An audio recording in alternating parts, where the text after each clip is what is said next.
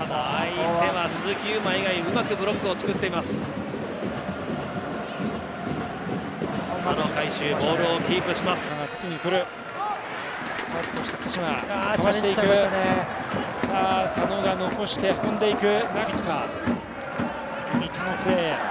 常本が奪ってきます。かわしてかわして佐野。まだ行く。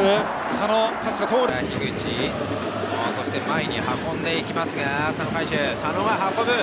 佐野が行く。そうですよね。畑の縦パスは佐野がカット。佐野回収股抜き。仲間もかなり絞って佐野回収かわしていく。佐野佐野シュート開始8分先制アントラーズ